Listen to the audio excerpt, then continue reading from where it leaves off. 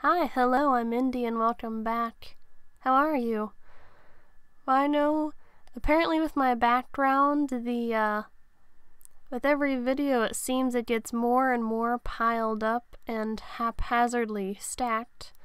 So I'm just waiting for the day when you just see a whole bunch of stuff either slowly or quickly fall in the background.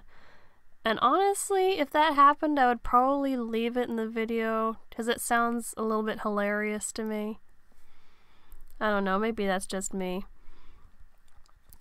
But so I dug out some of my circle templates and I think it was a furniture template. I'm not sure what it was, but it had squares in it and I just wanted the squares without having to use the ruler to make the squares.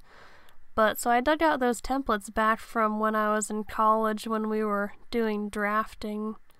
And my teacher was very anal about having perfect lines when it came to circles and some stuff like that.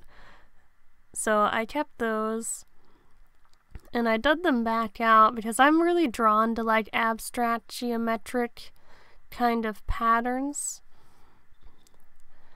And so you know, I've been trying a bunch of different styles and, you know, ways to make art.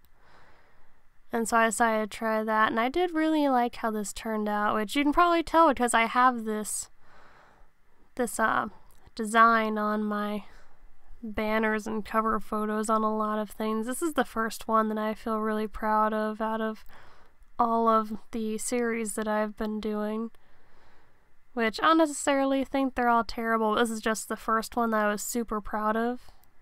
And yeah, I hope you like it too. I think it looks pretty, I mean, pretty good for a first sort of abstract geometric thing for me. You know, I like it. Hope you like it too. So yeah, hope you have a nice day. Bye everyone.